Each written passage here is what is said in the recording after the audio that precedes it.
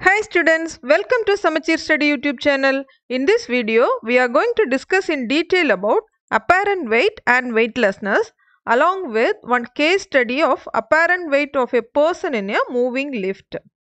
Students, last classல mass and weight அதோட difference இது எல்லாமே ரொம்ப டீட்டெயிலாகவே படித்தோம் இந்த கிளாஸில் apparent weight அப்படிங்கிற கான்செப்ட் என்னன்னு பார்க்கலாம் okay So the weight that you feel to possess during up and down motion that is not same as your actual weight is apparent weightன்னு கொடுத்துருக்குறாங்க. அதாவது உங்களுக்கு வெயிட்னா என்னன்னு தெரியும்.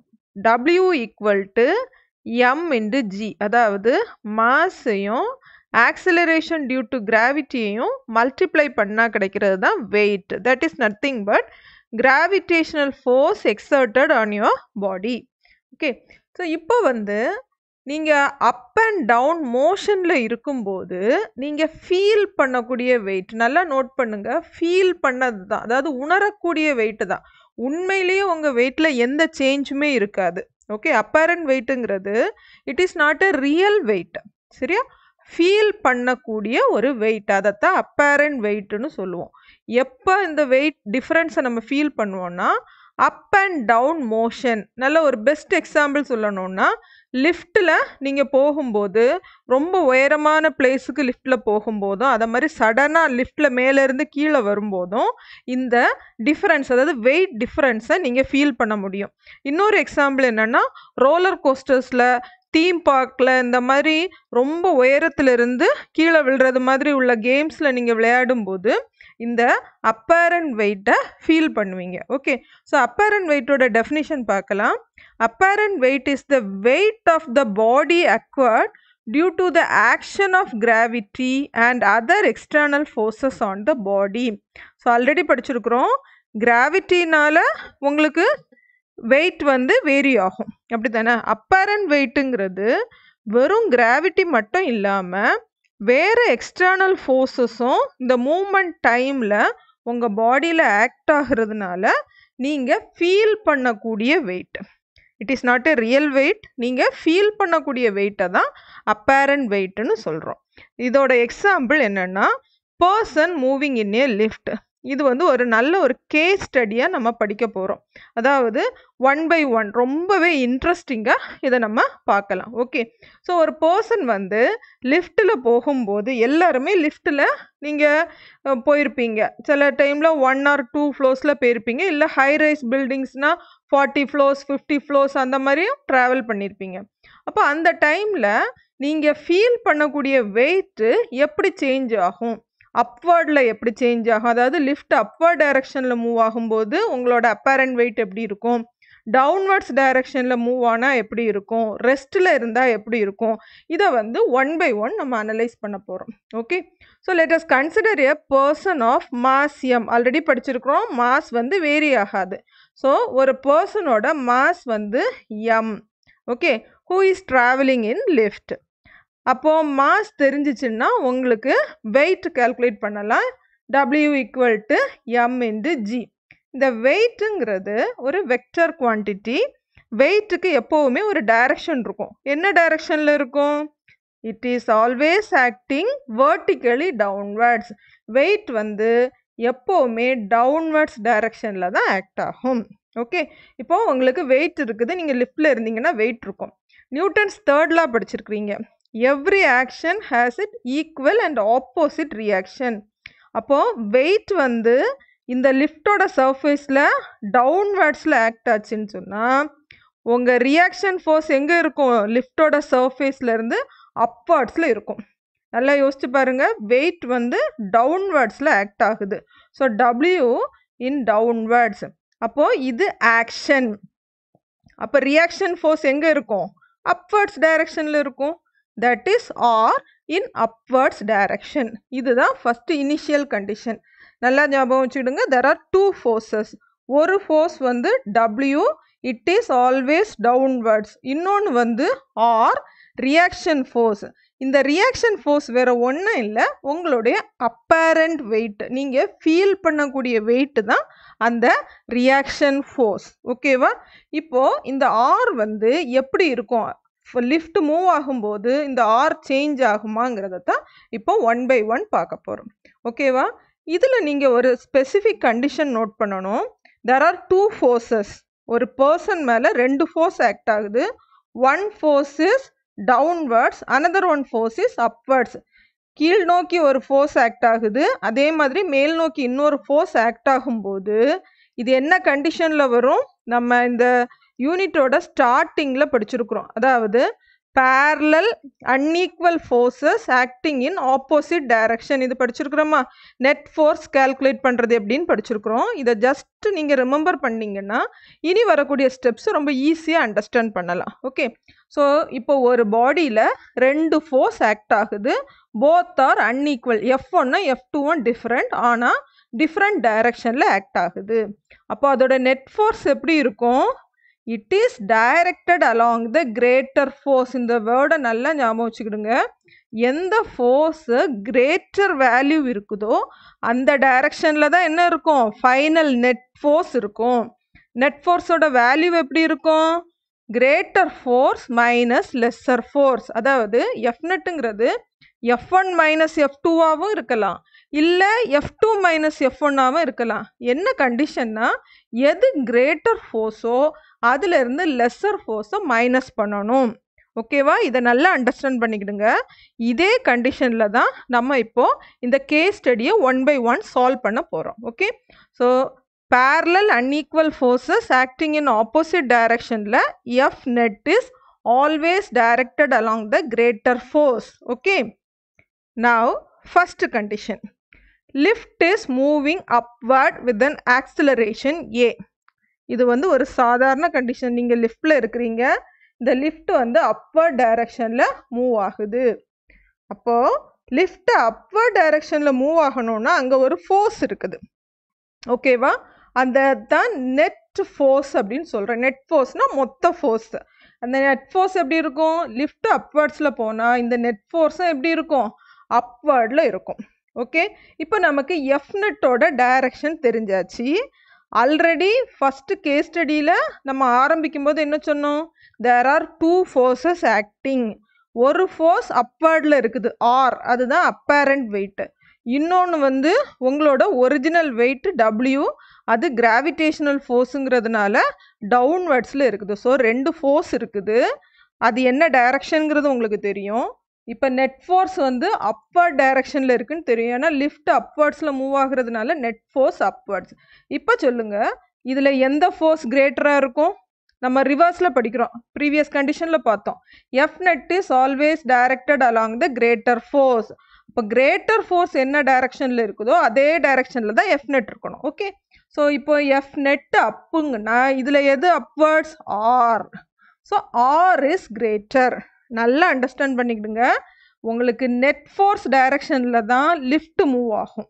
ஸோ லிஃப்ட் மூவ்மெண்ட் அப்வர்ட்ஸ்ன்னு சொல்கிறதுனால நெட் ஃபோர்ஸு அப் இப்போ நெட் ஃபோர்ஸ் அப்பாக இருக்கணும்னா இதில் ஆல்ரெடி உங்களுக்கு தெரியும் அப்பேரண்ட் வெயிட் வந்து அப்வர்ட்ஸில் மூவ் ஆகுது.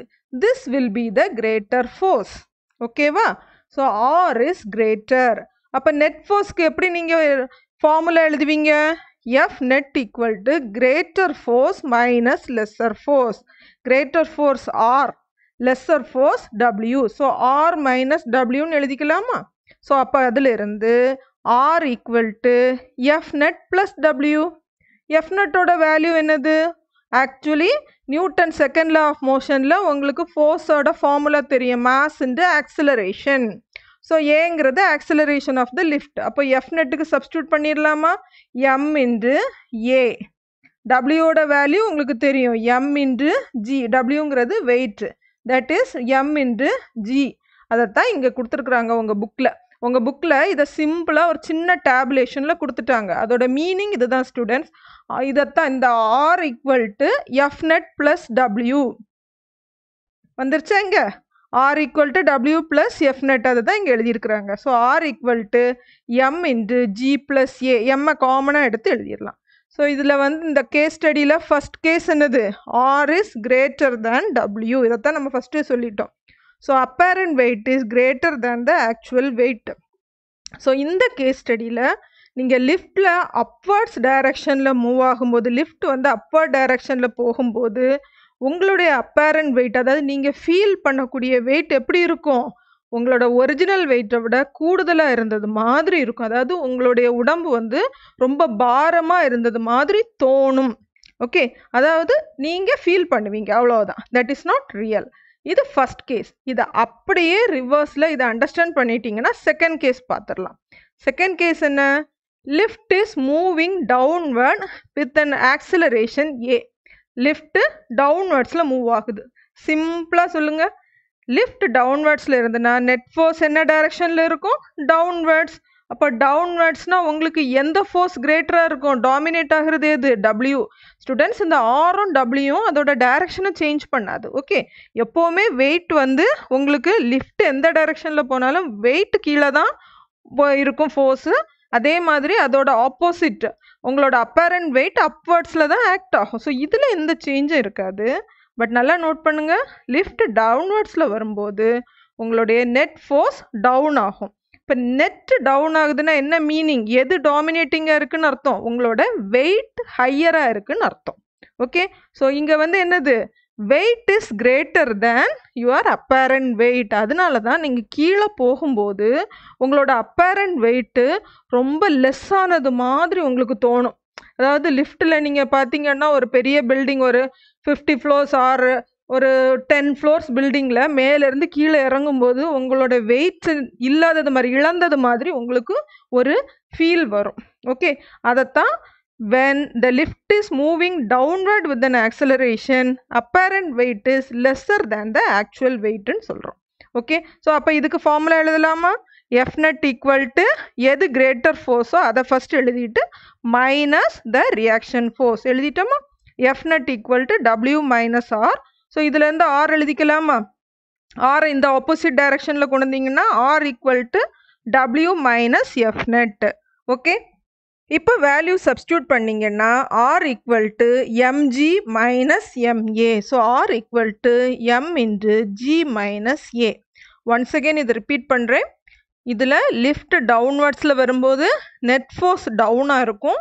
ஸோ எந்த ஃபோர்ஸ் டாமினேட் பண்ணும்? உங்களுடைய ஆக்சுவல் வெயிட் வில் பி என்ன ஆகும் டாமினேட் பண்ணும். Okay W is greater so F net equal to W minus R therefore R equal to W minus F net இதில் நீங்கள் சப்ஸ்டியூட் பண்ணீங்கன்னு சொன்னால் உங்களுக்கு என்ன கிடைக்கும்?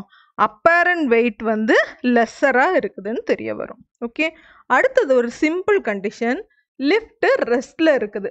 ரொம்ப சிம்பிள் லிஃப்ட் ரெஸ்ட்டில் இருக்குன்னா ஏ ஜீரோ ஏ ஜீரோனா நெட் ஃபோர்ஸோட ஃபார்முலா என்னது? M into A A value zero ஆச்சுன்னு சொன்னால் இந்த நெட் ஃபோர்ஸு ஜீரோ ஆயிரும். ஸோ எஃப் நெட்டே இல்லை. என்ன மீனிங் உங்களோட அப்பேரண்ட் வெயிட்டும் ஆக்சுவல் வெயிட்டும் ஒன்றுக்கு ஒன்று ஈக்குவலாக இருக்கும். அவ்வளோதான் ஸோ இந்த லிஃப்ட் மூவ் ஆகாமல் இருந்துச்சுன்னு சொன்னால் ஒரே condition your actual weight is the apparent weight உங்களோட வெயிட்டில் எந்த டிஃப்ரென்ஸும் நீங்கள் ரியலைஸ் பண்ண மாட்டீங்க. அடுத்தது பார்த்தீங்கன்னா இது ஒரு special case lift is falling down freely நம்ம ஆல்ரெடி கேஸ் டூ ஒன்று படித்தோம் என்னது? லிஃப்ட் டவுன்வர்ட்ஸ் டைரக்ஷனில் மூவ் ஆகுதுன்னு அதுக்கு ஃபார்முலா எழுதும்போது என்ன எழுதணும்? R equal to M into G minus ஏன்னு கொண்டு வந்தோம். ஓகே ஸோ இப்போ ஒரு ஸ்பெஷல் கேஸ் என்ன சொல்ல வரோம்னா இந்த ஏ ஈக்குவல் டு ஜின்னு சொல்ல வரோம் அதாவது ஆக்சிலரேஷன் இந்த லிஃப்டோட ஆக்சிலரேஷன் வந்து எதுக்கு ஈக்குவலாக இருக்குது ஜி ஆக்சலரேஷன் டியூ டு கிராவிட்டிக்கு ஈக்குவலாக இருக்குது. நல்லா நோட் பண்ணுங்கள் ஆக்சலரேஷன் ஜீரோ ஆகலை. ஆக்சலரேஷன் ஜீரோ ஆச்சுன்னா லிஃப்ட் அட் ரெஸ்ட்டு ஆனால் இங்கே ஆக்சலரேஷன் எதுக்கு ஈக்குவலாக இருக்குது ஜிக்கு ஈக்குவலாக இருக்குது. ஸோ நல்லா ஞாபகப்படுத்தி பாருங்கள் லிஃப்ட் டவுன்வர்ட்ஸில் வருது.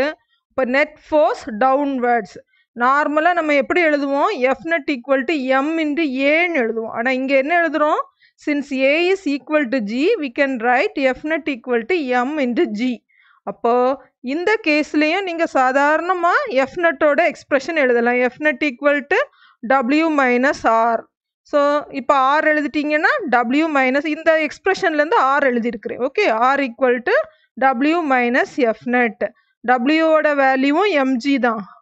எஃப் நெட்டோட வேல்யூவும் எம்ஜி தான். அப்போது எம்ஜியும் எம்ஜியும் ஒன்று ஒன்று கேன்சல் பண்ணிடுமா? ஆர் என்ன வரும்? ஜீரோ ஸோ இப்போ இதுக்கு என்ன meaning apparent weight is equal to zero so இந்த ஒரு ஸ்பெஷல் கண்டிஷனில் நமக்கு நம்ம பாடியில் வெயிட் இருக்கிறதே தோணாது. அதாவது we cannot feel any weight in our body ஆனால் உண்மையிலேயே அங்கே மாஸ் இருக்குது. ஆனால் இந்த ஒரு ஸ்பெஷல் கண்டிஷனில் நீங்கள் மூவ் ஆகக்கூடிய ஆக்சலரேஷனும் கிராவிட்டேஷன் அதாவது ஆக்சலரேஷன் டியூ டு கிராவிட்டியும் சேமாக இருந்துச்சுன்னு சொன்னால் இதை என்ன கண்டிஷன் சொல்லுவோம் ஃபாலிங் டவுன் ஃப்ரீலி அதாவது ஃப்ரீ ஃபால் கண்டிஷன் ஒரு ஸ்பெஷல் கேஸில் சொல்லுவோம் ஸ்டூடெண்ட்ஸ் அவ்வளோதான் ஸோ இப்போ இந்த நாலு கேஸையும் நம்ம ரிப்பீட் பண்ணோன்னா first case lift moving upwards apparent weight is greater second case lift moving downwards apparent weight is lesser. Third case, when lift is at rest, apparent weight is equal to the actual weight. Then final special case is the free fall case where your acceleration is equal to g, Apparent weight is equal to zero so இதை base பண்ணி தான் அடுத்தது என்னது ஒரு concept சொல்ல போகிறோம் weightlessness இதைத்தான் நான் ஸ்டார்ட் பண்ணேன். When a person in a lift moves down with an acceleration A equal to acceleration due to gravity this is called free fall நம்ம லாஸ்ட்டாக படித்தது என்னது? ஃப்ரீ ஃபால் ஸோ இந்த ஃப்ரீ ஃபால் கண்டிஷனில் நீங்கள் எந்த ஒரு வெயிட்டையும் ஃபீல் பண்ண மாட்டீங்க. இதைத்தான் ஸ்டேட் ஆஃப் வெயிட்லெஸ்னஸ் அப்படின்னு சொல்கிறோம் ஸோ வெயிட்லெஸ்னஸ்க்கு ஒரு டெஃபினிஷன் இருக்குது. Whenever a body or a person falls freely under the action of earth's gravitational force alone நல்லா நோட் பண்ணுங்க. இதில் வந்து என்னது இருக்கும்? கிராவிடேஷனல் ஃபோர்ஸ் கண்டிப்பாக இருக்கும். கிராவிடேஷனல் ஃபோர்ஸ் உங்களுக்கு ஜீரோ ஆகலை. நீங்கள் அந்த ஏர்த்தோட கிராவிடேஷனல் ஃபோர்ஸுக்கு ஈக்குவலாக மூவ் ஆகுறீங்க. Okay so it appears to have zero weight அதாவது நல்லா நோட் பண்ணுங்கள் appears to have zero weight தான். உண்மையிலேயே உங்களோட வெயிட் ஜீரோ ஆகலை. அதைத்தான் வெயிட்லெஸ்னஸ்ன்னு சொல்கிறோம் ஓகே ஸோ அப்போ வெயிட்லெஸ்னஸ் கண்டிஷன் வரணும்னா ஃப்ரீ ஃபால் கண்டிஷன் ஆகணும். That means A should be equal to G இதுதான் இதோட கண்டிஷன் ஸ்டூடெண்ட்ஸ் இப்போ இதுக்கு ஒரு பெஸ்ட் எக்ஸாம்பிள் நம்ம பார்க்கலாம். ஆஸ்ட்ரோனட்ஸ் எல்லாருமே நிறைய ஃபிலிம்ஸ் பார்த்துருப்பீங்க. அதாவது ஸ்பேஸ் ஸ்டேஷன்ஸ் ஹாலிவுட் மூவிஸ் எல்லாம் பார்க்கும்போது இதில் இந்த ஆஸ்ட்ரோனட்ஸ் அந்த ஸ்பேஸ் ஸ்டேஷன்லாம் பார்ப்பீங்க. அவங்க எல்லாருமே ஆல்மோஸ்ட் மிதக்கிறது மாதிரி நீங்கள் விஷுவல்ஸில் பார்ப்பீங்க. யாருமே அதுக்கு ரீசன் என்ன சொல்லுவாங்கன்னா அவங்களுக்கு வந்து கிராவிடேஷனல் ஃபோர்ஸ் இல்லை ஸ்பேஸ் ஸ்டேஷனில் அதனால தான் அவங்க ஃப்ளோட் ஆகுறாங்க அப்படின்னு நீங்களே நிறைய தடவை யோசிச்சிருக்கலாம். But the concept is wrong Some of us believe that the astronauts in the orbiting space station do not experience any gravitational force. இது சாதாரணமாக யோசிக்கக்கூடிய ஒரு விஷயம்தான். அங்கே கிராவிடேஷனல் ஃபோர்ஸ் இல்லை பூமியை தாண்டிட்டாங்க. அதனால அவங்க வந்து ஃப்ளோட் ஆகுறாங்கன்னு நம்ம நினைக்கிறோம். பட் ஆக்சுவலி என்னென்னா அவங்க ஃப்ளோட் ஆகலை. ஆஸ்ட்ரோனட்ஸ் யாருமே மிதக்கலை. அதுக்கு பதிலாக என்ன பண்ணுறாங்க falling freely around the earth due to their huge orbital velocity வேறு ஒன்றும் இல்லை. அங்கே அவங்களோட ஆக்சிலரேஷன் எதுக்கு ஈக்குவலாக இருக்குது நம்முடைய ஜி ஆக்சிலரேஷன் டியூ டு கிராவிட்டிக்கு ஈக்குவலாக இருக்குது. அதைத்தான் சொல்லியிருக்கிறாங்க. A is equal to G அதனால அவங்க ஃப்ளோட் ஆகலை மிதக்கலை. அதுக்கு பதிலாக என்ன பண்ணுறாங்க ஃப்ரீ ஃபால் கண்டிஷனில் இருக்கிறாங்க. So space station and astronauts have equal acceleration they are under free fall condition உங்களோட ஸ்பேஸ் ஸ்டேஷனும் ஆஸ்ட்ரோனட்ஸும் என்ன கண்டிஷனில் இருக்கிறாங்க? ஈக்குவல் ஆக்சிலரேஷன் நம்ம படித்தோம்ல ஏ ஈக்குவல் டு ஜி அந்த கண்டிஷனில் இருக்கிறதுனால தான் அவங்களால ஃப்ளோட் ஆக முடியாது. அதுக்கு பதிலாக ஃப்ரீ ஃபால் கண்டிஷனில் இருக்கிறாங்க. So they are in the state of weightlessness அதாவது நம்ம படித்தோம் அப்பேரண்ட் வெயிட் வந்து ஜீரோவாக இருக்கும்.